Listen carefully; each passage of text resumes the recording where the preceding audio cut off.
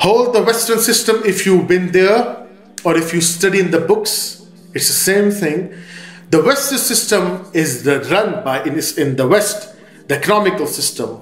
All the system is running number one on the principles of intoxicants, beer, hard liquor, soft liquor, etc. Any kind of beverages related to liquor, related to intoxicants are sold there, and the, the billions, the millions of dollars are being earned through it. Imbibing of alcohol.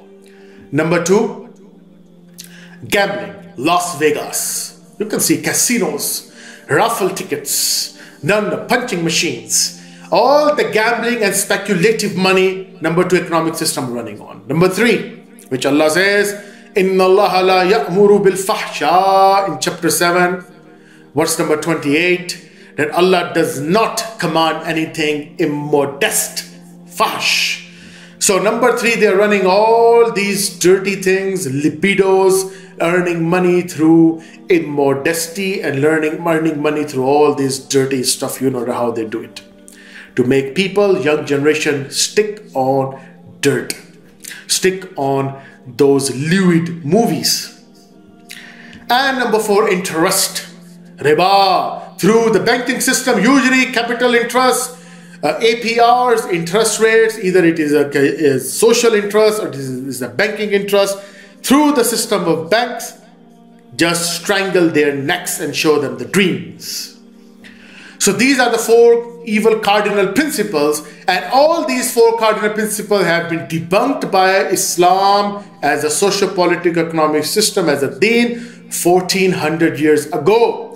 Now you have the confrontation, and that is why the West does not like Islamic deen, but mazhab, where the rites and rituals, they have no problem. Even Hindus go there, Jews go there. But when the system comes against and confront the system of economic, social, and political as lumped up in totality, then the problem comes. My lecture of mine is to educate Muslim brothers, sisters, and the Western system that these four things which you are doing has brought you nothing. And you know that.